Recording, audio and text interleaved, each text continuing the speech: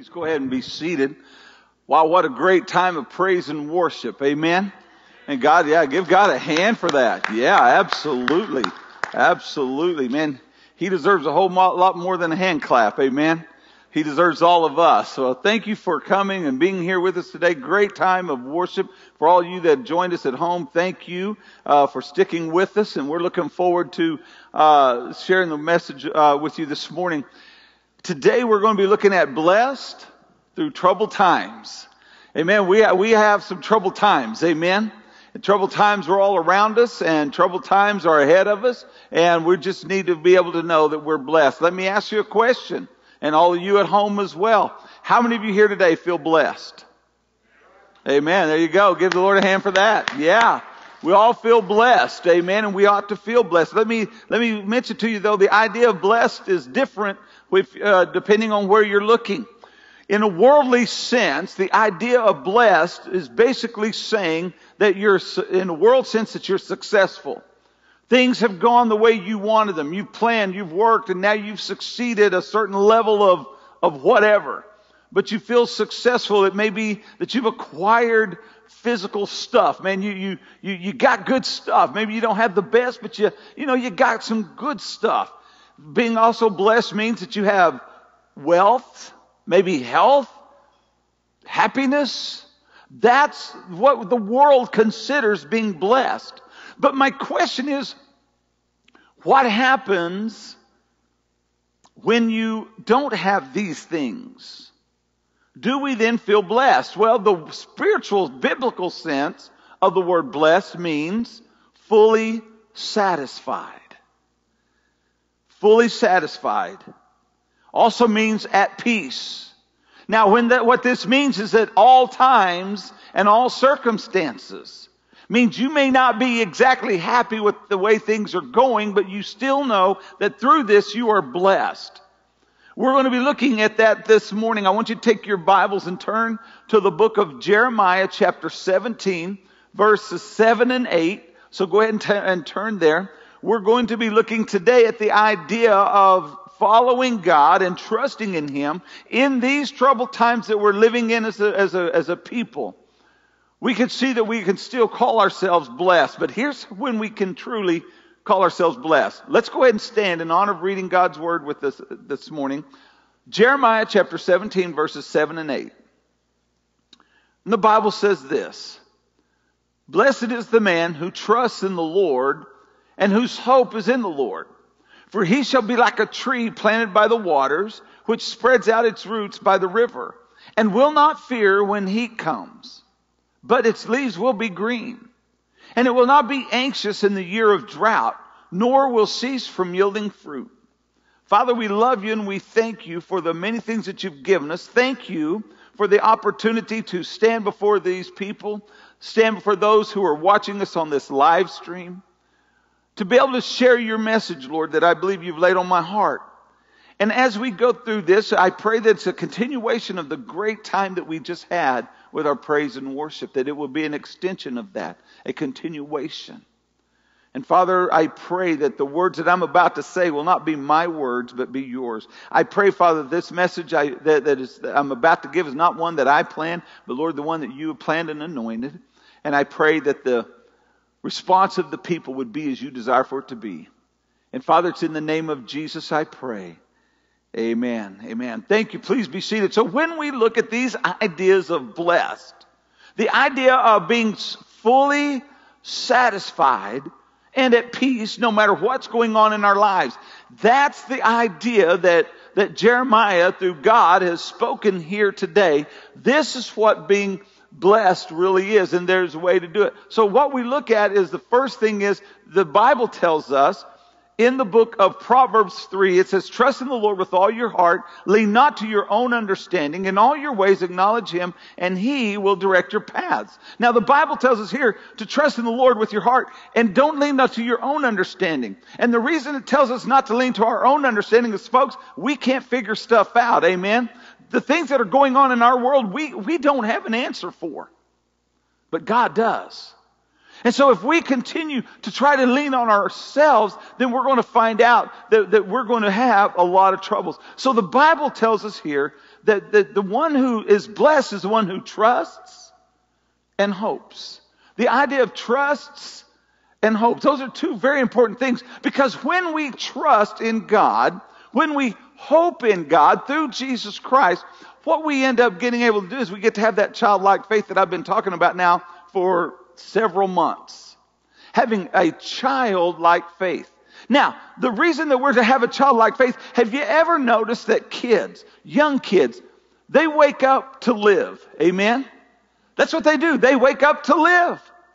They wake up and, and, and they're kind of, if you will, in a new world. Now, sometimes kids sometimes wake up cranky. Amen? They don't always, now they wake up to live, but they don't always wake up in good moods. As a matter of fact, I have that at my house. Amen. Sometimes when they're all home, they all wake up and sometimes they're, they're not, sometimes they're cranky. As a matter of fact, I told them in the first service, Jade, I'm sorry, but I told them in the first service that I know all the four ladies in my house, my wife and my three daughters. And I have a certain ritual for each one of them that they go through because I get up before them. I know that's kind of hard to believe, but I usually wake up before any of the girls. And I've got a ritual for each one of them that I go through to be able to make sure they're, they're in a good mood. I, there, there, are certain things before I talk to them, before I do, there are certain things that I have to go through. And I call it offering up the offerings to the goddesses before the morning. Amen to get my day started off right, I make the offerings, and each one of them has a different offering that I have to give them. But what happens is I found out even when they were little that, that they wake up ready to live. Kids don't seem to be worried. In other words, they, they just wake up. They wake up and they're hungry and they're not worried about, oh my, where's the first meal coming from? They may not know when it is, but they know it's coming. So they're not worried about the meal. They, they, they, don't wake up and they're worried about what, what about the bills? What about the bills? How are we going to get the bills paid? I promise you, my daughters, when they were younger, they didn't wake up worried about the bills. I knew that because I was always running through the house behind them turning off lights. Still do. Amen. So I know they're not worried about the bills. They take long showers. They're not worried about the water bill.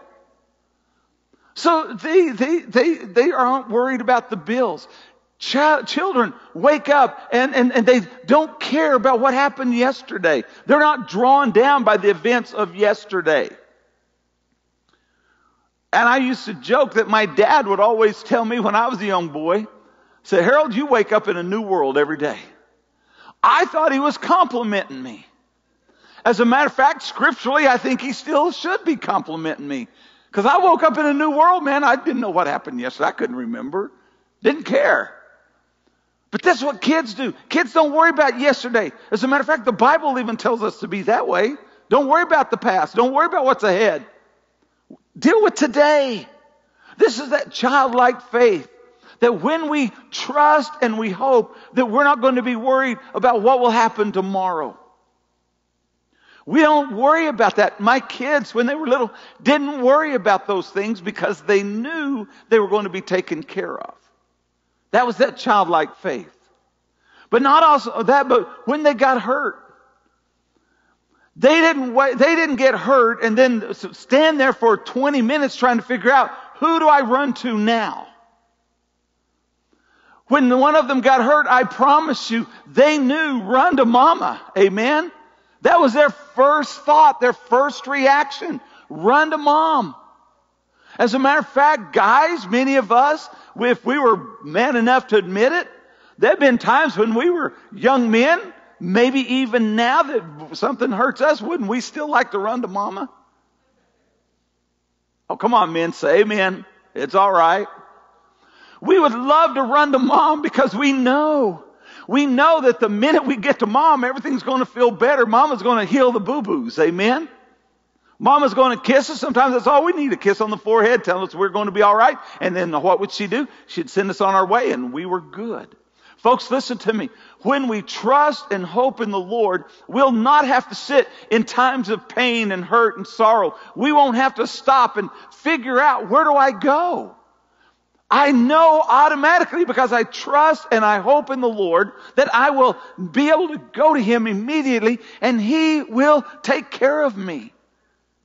This is what He says. Blessed are those who trust and hope in the Lord. So we have the childlike faith. There's no worries. We can run to, to, to, be taken care of and then we can sleep peacefully. That's what childlike faith is. Have you ever watched your kids when they were young? Have you ever watched them sleep?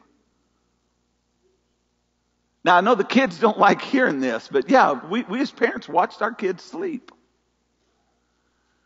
And I remember there were times that some of the best times that I remember as the girls were little was that we would gather in one of the rooms and it was always a debate because they would always remember it differently because remember they didn't think about yesterday that, hey, it was in my room. No, it was in my room. No, it's, it's my room tonight, blah, blah, blah. So, but anyway, we'd work all that out, finally get in a room and we'd begin to pray and we'd pray together. So I'd tuck them in and, and then I'd go back in to do my things. There were times that I remember that I would go back into the kitchen and maybe I was dealing with something that was really heavy. And it weighed on me.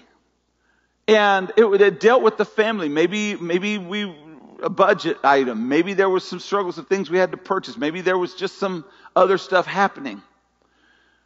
And always before I would go to bed, I also had a ritual that I would go back in and I would check on my girls. Now folks, listen to me. I had just come from the table where I probably was stressed more than I should have been, but I was stressed. I was tr- anxious trying to figure things out. But I said, I'm going to go check on my girls. You know what was always amazing? Was I'd open the doors and I'd look in there and the girls, each one of them, they'd all just be sound asleep. They weren't worried about those things that I was worried about.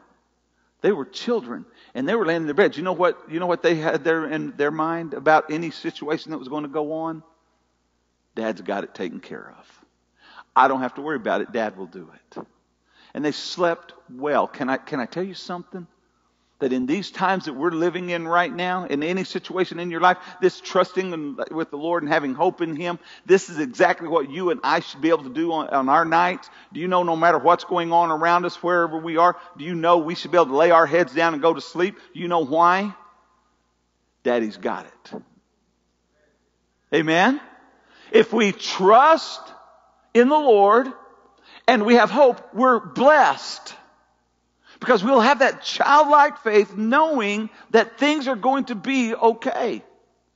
Things are going to be good. God's got it worked out. We don't have to worry about it. That's the childlike faith.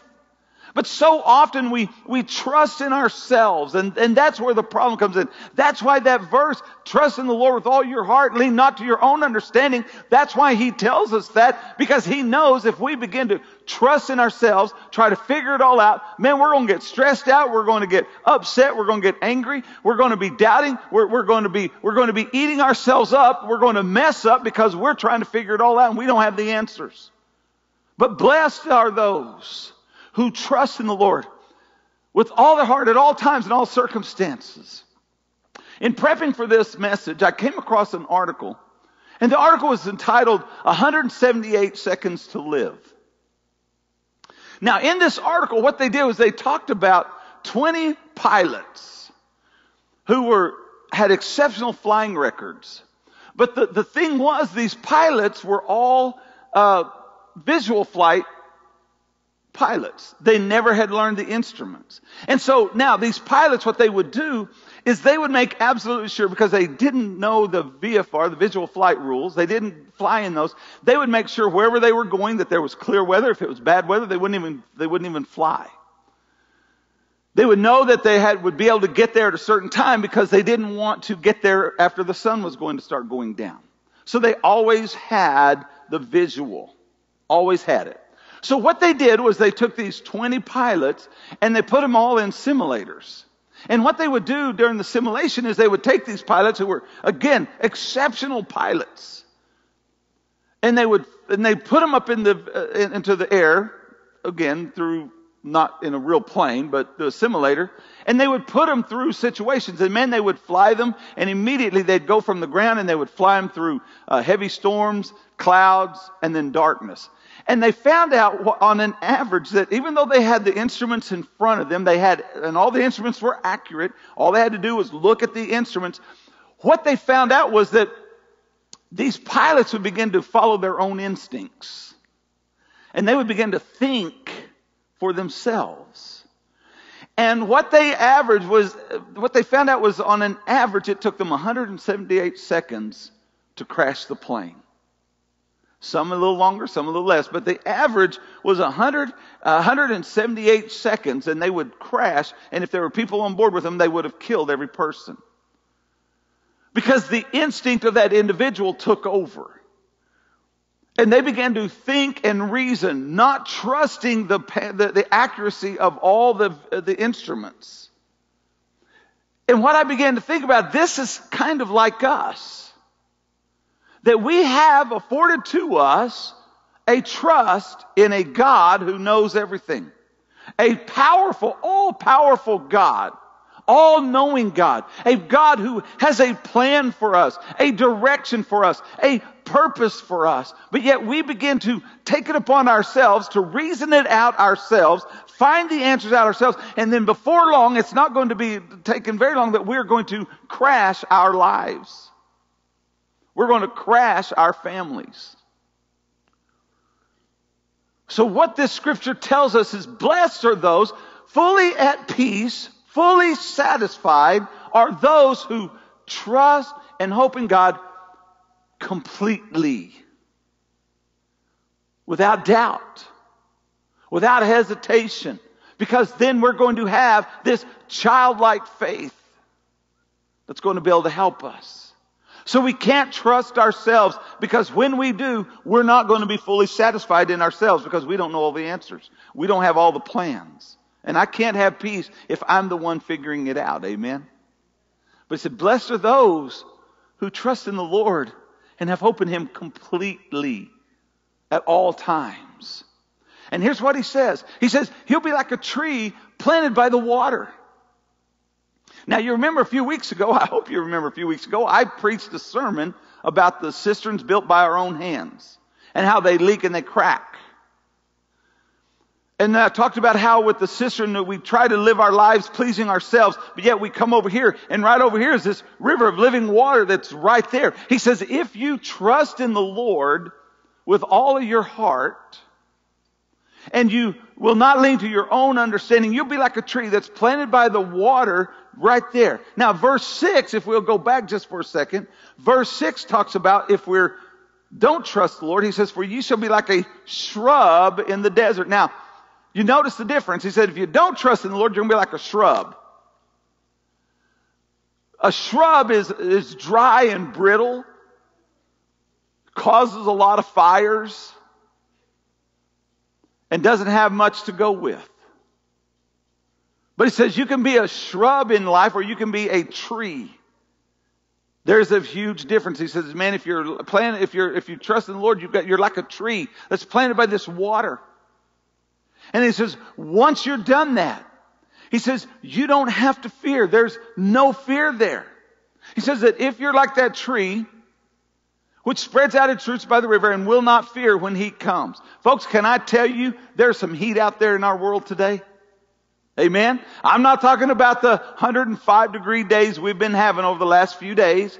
I'm talking about real heat. Amen. There's a lot of stuff going on out in our world. But it says, you know what? You don't have to fear that. Isn't that good news? I don't have to fear. I don't have to fear what's going on out there. He says, you're like a tree that's by that, that, that river. Man, when the heat comes, you're going to be refreshed. That spirit is going to be working in you. That spirit is going to be replenishing you. That spirit is going to be giving you the nutrients that you need in your life. And you don't have to look around and go, oh my, what about tomorrow? He says, I've already got tomorrow. You don't have to fear anything. My friends, with the heat that's going on in our lives and the heat that I'm telling you, I preached it last week. I believe even more heat is coming to the church. I believe even more heat is coming to those who claim to be Christians. I believe the heat is there. I believe it's coming more. But he says, you don't have to fear it. But not only do you not have to fear, but you don't have to have, be anxious.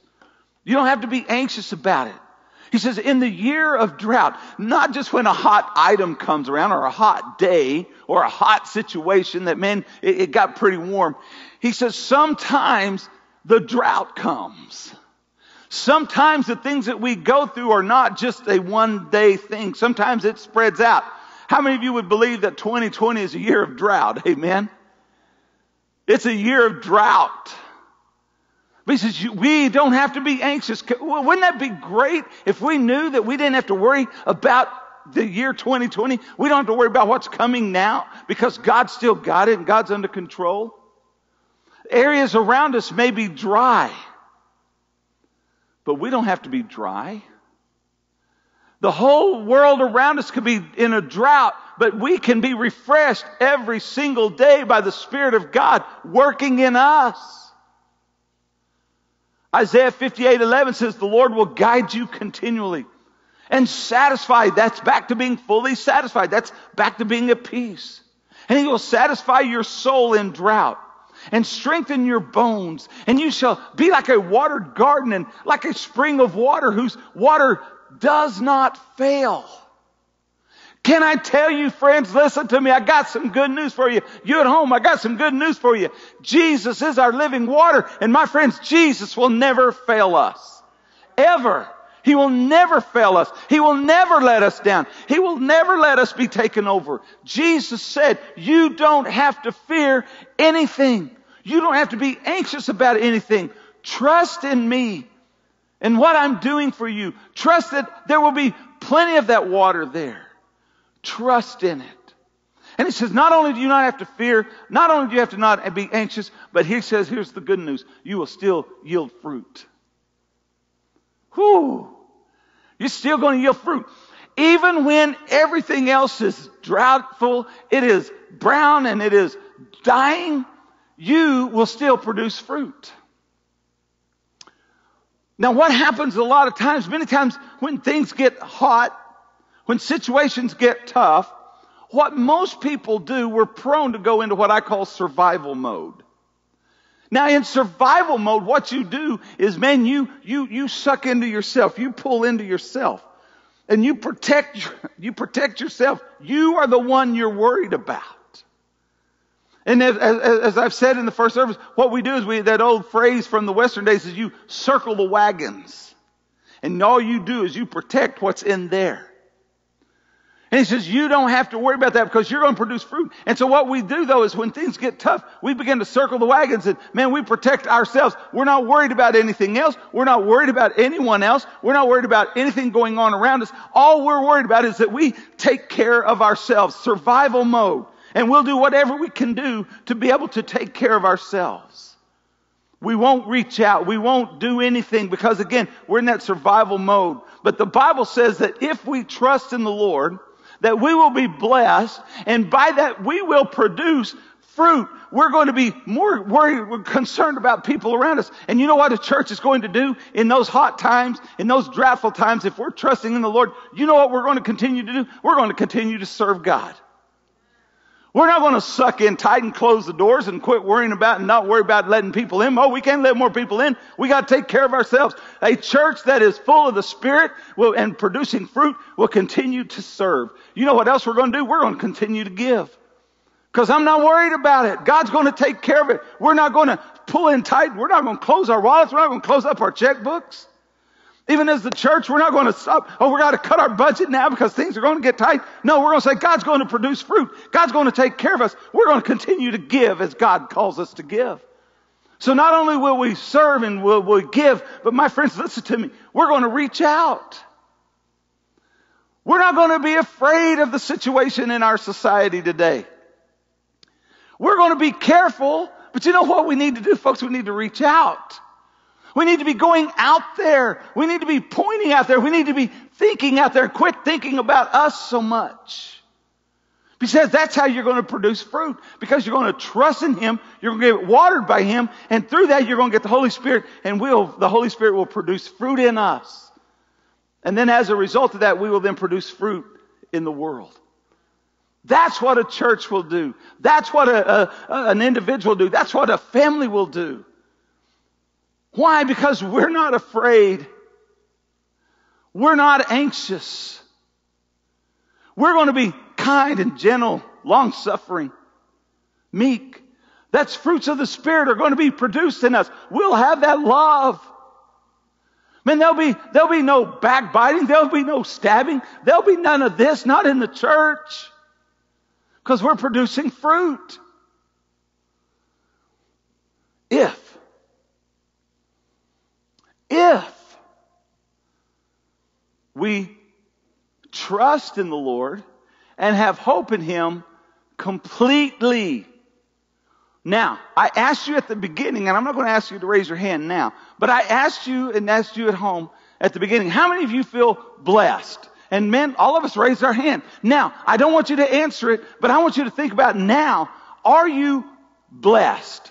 Now, what I mean by it, are you, are you fully, listen, fully satisfied in your life? Are you fully, listen, are you fully at peace? Not, eh, I'm kinda, kinda, mostly satisfied, and, you know, I got some things. Or not, well, I have peace, kinda, eh, little, you know, it's some there. Then you're not blessed. You're not blessed. Because it said, blessed are those, fully satisfied are those who have trust completely and have hope completely in the Lord. So we can yield ourselves to Him. And listen, He would not have written it down here if He didn't mean that it was possible for us to be fully trusting in Him. He would not have written it down here if he knew that there was absolutely no way anyone in here, anyone watching could fully be at peace, could fully be satisfied. Paul says, be content, which means satisfied in all things, through all things, during all things. Because I know I know my dad has this. Abba Father has this.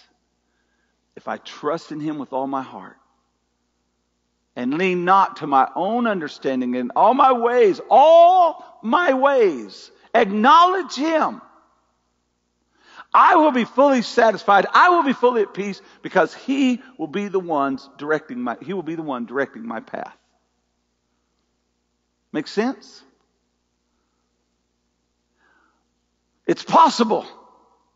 So here today, if you're here or you're at home, and maybe you don't have peace, maybe you don't feel fully satisfied in your life, then my friends, I'm here to tell you there's only one reason, and that's because you feel blessed by the world and not by Christ. Because if you're blessed and you know and you trust in Him with everything, Blessed is he. Blessed is she. Blessed are they, the church, that fully trusts in the Lord and has hope in him. Mean, you'll be like a tree planted by the water with roots digging down deep. And in the times of heat, you won't have to fear. In the season of drought, you won't have to be anxious, but yet you will still produce fruit. Man, imagine, folks, Imagine people today, what they would think about if they saw people having full hope. Because we were being nourished by the Spirit of God. I'll close with this. If you were walking today and there was someone who was so thirsty, man, they had just come from the desert and you had a glass of water in your hand, can I tell you something? They would want what you have. Amen? They would do anything to get that water that you have. Can I tell you? We're in a desert today in our nation. We're in a drought, a spiritual drought. We have the possibility of planting ourselves by the water being nourished, uh, people will look at us and say, I need that. Can you have that? Do you trust Him? Do you have hope in Him? Do you have the childlike faith? I'm going to ask the praise team to come on back up as we get ready to close out here now. And I want to ask you that question, you folks at home. Would you retract your answer first when I asked you at the beginning, do you feel blessed? Because right now we feel blessed because God is good to us. But I'm asking, do you feel fully satisfied today? Is there, or is there something, hmm, something's just missing? Then perhaps, perhaps, it's that we're feeling blessed by the world, but we're not getting accomplished that blessed by God. Because maybe we're holding on to something. Maybe we're not letting go of what God says let go of. Maybe we're not following where God wants us to follow. Maybe we're not surrendering where God wants us to surrender. But today, if you're here and you don't know Jesus Christ, or you're listening today and you don't know Christ, my friend, today I want to implore you, I beg you to turn your heart to Him. Seek Him with all your heart. Ask Him to forgive you of your sin. Receive Jesus into your life today, and you will know what satisfied is. Christian, if you're here, you're listening or watching, today we can have a peace that passes understanding.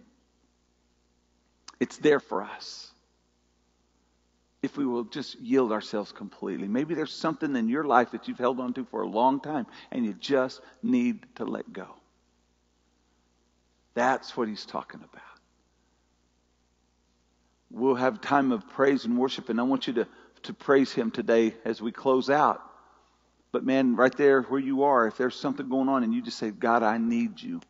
I need you through salvation, or I need you through recommitment of my heart. I need to follow you. I know I've been holding off. Here it is. Lord, I'll give it to you. Then would you do that? I'll be down front here. I'll be willing to pray with you.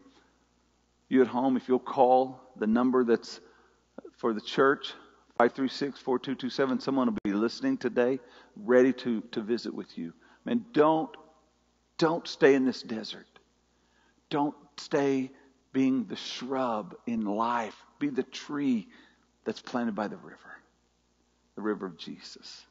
Let me pray with you. Father, as we step into this time, Lord, might you be honored and glorified in all that we're doing. God, we love you and we thank you. Speak to our hearts now during this invitation time. It's in Jesus' name I pray. Amen.